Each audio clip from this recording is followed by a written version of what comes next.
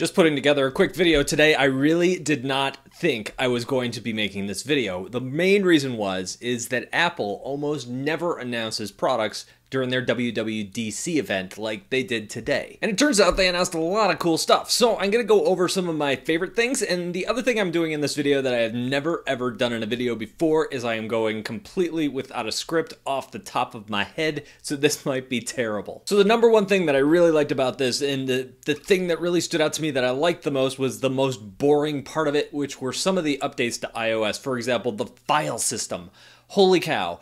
I think for most people, they're just going to yawn and think, yeah, big deal. But if you already have an iPad Pro and and you want to use it for more than just one task here, one task there, that file system is huge. And my one major complaint about the iPad Pro is that if you want to use it for that one task, like I want to draw and procreate, you're in great shape. But if you want to do other things with it, it gets really frustrating. For example, I use a lot of screenshots. I share a lot of screenshots when I'm looking at illustrations for inspiration. I often use my iPad for that. I'm always surfing the web on my iPad, uh, and I like to take screenshots. I have hundreds of screenshots that I have taken from Instagram, uh, but I have cropped out all of Instagram. So you see the entire page from Instagram. All I want is like the person's name and the actual image that I'm looking at, or maybe I want to crop out a texture. So adding a cropping feature to iOS, again, really insanely helpful. Overall, it seems like they're taking iOS and making it more like the Mac, which I think is a good thing. If you're really going to have the iPads compete with the Surface Pros and the Windows computers of the world, you need to bring it up to par. It needs to be able to do what a standard desktop can do. And talking about Mac OS, the one thing that was missing, and this is kind of huge news, is, but not really, it, it, there is no touch coming to Mac OS. They talked about the High Sierras update. They didn't talk about uh, adding touch to the interface at all. Most people are going to miss that. They're not going to read much into it, but this is where you're going to mention a feature that big. I've, I've said it all along, and, and I don't think most people it's really clicked with when they think about it. But as an interface designer, I can tell you when you introduce touch to your interface, it dramatically changes the way you have to design the interface itself. And so adding the kind of touch feature to your interface, to your operating system, is no small task. When they did it with Windows 8, that was a huge change, and people really didn't like Windows 8. It was clunky, it was weird. Now they had a couple years to kind of improve on that, iterate on that. They've made Windows 10 actually really nice from a touch perspective. That took years to get to, and they have to start iterating on Mac OS sooner rather than later, and they have to introduce touch, you know, in the operating system. We didn't hear anything about that. Uh, which means I don't think we're going to see that in any hardware, you know, this fall. So, no touch. That was kind of the non-news of the day. So all of those little features and the way that you switch between apps and the way all of that works together and some of the things that you can now do with a pencil, all those little boring things are definitely my favorite part of this keynote and my favorite part of what Apple is doing. Number two, I really did not expect new Apple hardware at all. In fact, I told somebody specifically in the comments this morning, no, we are not going to see new iPads. We are not going to see those until the fall. Uh, I was totally wrong. Uh, we got two new iPad Pros. Uh, the iPad Pro, the smaller one, the 9 inch one, uh, it goes wider, so now it's a 10.5 inch screen. So the device itself is the same size, but the screen is bigger. Uh, that's really cool. Uh, that makes it even even easier to recommend. One of the things I've told people is that uh, if you're only using the iPad for drawing, the larger iPad is nicer. However, if you like reading on it, if you like taking it places, the smaller one is is really kind of probably the better way to go. But now you get that smaller form factor, but a bigger screen on that form factor.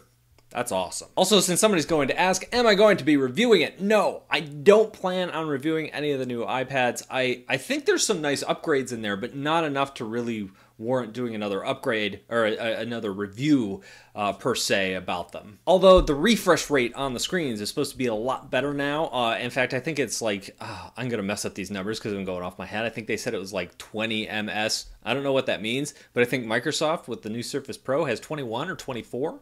Uh, so they've really brought it up to that same level, which I think is interesting that they independently, both of them have, you know, gone down that route. I think that's going to make drawing snappier uh, personally in in the devices that I've been using, the Surface Pro and the iPad Pro, I don't really notice that kind of lag when I'm using it. I notice it oftentimes when I videotape it videotape it, when I record it with my phone, there's no tape involved here.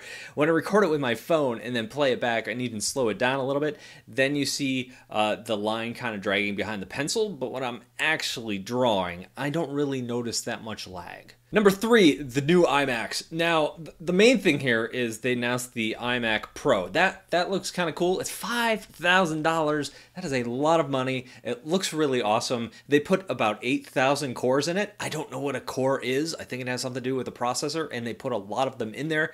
So so that's great. That's more money than I want to pay for a computer. So I don't think I'm going to be picking one up. I also did a video about how uh, this was a couple months ago about how Apple is overthinking their Mac Pro line. Like we don't necessarily want um, what am I trying to say here? We don't want huge innovation. We just want power, the ability to upgrade it, and that sort of thing. So with an iMac Pro, I still can't just pop out the graphics card and, and replace it in two years. You know, so that that's kind of a bummer. It sounds like it's a monster graphic card. There's external GPUs that you can attach to these things now. Uh, they're bringing something like that out. That sounds kind of cool. I don't really know much about what an external GPU does or how it works. I'm assuming it's just like an internal one. It just happens to be attached from the outside. Is there extra lag there? I have no idea. Uh, this concept is pretty new to me. But overall, this whole idea that they've gone in, they've updated the iMacs, they have updated the MacBook Pros, they've just bumped up the specs pretty much on all of them across the board. That is good. That is something that has frustrated me about Apple in the fall was that they rolled out these new MacBook Pros and everybody was like, ooh, touch bar, that's really cool. But it's like, just all we need is really a spec bump. Uh, I don't want to pay more for something that I'm not necessarily going to use. But when I pay a premium for a computer, I want to know that, hey, we've stuck the latest and greatest processor in there. Uh, we're making sure that you're getting a good deal on the extra RAM that you're buying. Little things like that. Uh, I just want a good value for the money that I'm spending. And so I'm glad to see them doing that. And overall, as they kept going on and on and on and saying, oh yeah, we're updating this and we're updating this and we're updating this, I was like, holy cow, I wasn't sure we were going to see any hardware this time around. And here we are we're seeing everything updated. Fourth, are we on four or three? I don't know. I'm going with four. Fourth, uh, the the HomePod is that what it's called? Uh, first of all, uh, Amazon has their doodad. I think Google probably has one too. And I've always seen those and thought, you know what, I don't really want one of those in my house. But when I saw the HomePod, I thought, yeah, I want one. And I think the reason why is because they're selling it like a speaker. In fact, they're they're selling it like from the angle of music. They're even giving it the pod name like the iPod.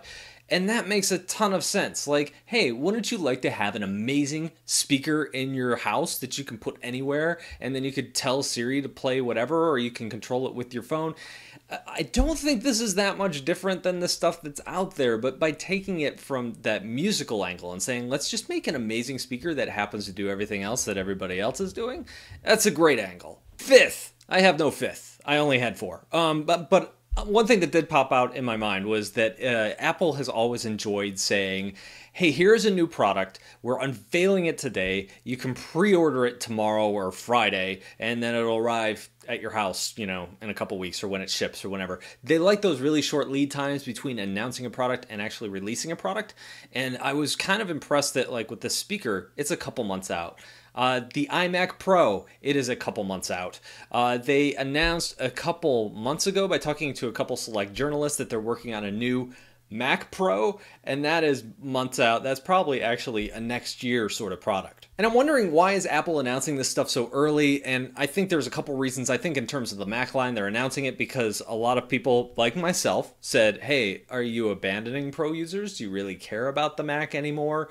Uh, so overall, to see them really spend so much time thinking and talking about the Mac in this press conference was was really great. But I'm also wondering since they can't really keep secrets, like all these people in their supply chain are like leaking photos of, of their products as they're being produced, since they can't really keep those secrets as well anymore, if they're like, might as well announce them in advance and be able to spin them the way we want to spin them so that people aren't like watching our press conferences and saying, oh, this is boring. We knew all this was coming. There's no surprises here. There's nothing exciting. So I think that aspect of it, at least for me, uh, kept this press conference interesting uh, from beginning to end. And it was long. It was like, I don't even know, like two and a half hours. Sixth, you can't see my other hand. Sixth. Yeah, I have a sixth. I didn't think I would, but here we are. It seems in general in this press conference they lost a lot of the flowery language. Apple has done this, actually, it started with Steve Jobs. Steve Jobs used to say, This is magical, this is amazing, this is astounding. And he used these big, verbose, ridiculous terms. But Steve Jobs was a showman. And so he could go on the stage and he could pull that off, and you'd be like, Wow, that really is magical. But when Tim Cook says something's magical, you're like, yeah, that's just spin, man. And they said some goofy stuff like that in the fall at their last big press conference, and they got called out on it, and people were like, "Yeah, that you, you guys are just out of touch and out of context here." So it was nice to see them scale back a lot of that marketing speak and focus on the meat and focus on what's actually interesting here. That was something I really liked too. Seventh, I keep thinking of things as I keep going. There was a lot of like VR demos and a lot of 3D demos and, and stuff like that, and I guess a lot of people get excited about that sort of thing and I guess it was cool. Um, I'm more of a practical application sort of guy. When I see something, I want to be like, okay, how am I going to use it? I think that was part of the reason why the HomePod was so interesting to me. Like they sold it like a speaker. Like this is in your house. You can listen to music on it. You can listen to your podcasts on it. You know, selling it as a practical device that you can see yourself using all the time. I love that. And I guess with a lot of like the VR demos and stuff that they were doing, eh, it just didn't resonate with me. Um, you know, maybe in a year or two when there's like actual things that you're like, okay, this is an app you could download now and play, and it's a lot of fun to play with cool, then I'm on board. But for now, I'm just kind of like, meh. Eight. I'm just kidding. There is no eight. I'm pretty much done. Those those are my general thoughts. Uh, let me know what you think. You know, down below. Um, you know, a lot of cool stuff if you're an Illustrator artist in terms of just better hardware. You know, nice new little updates to the iPad Pro and the Pencil.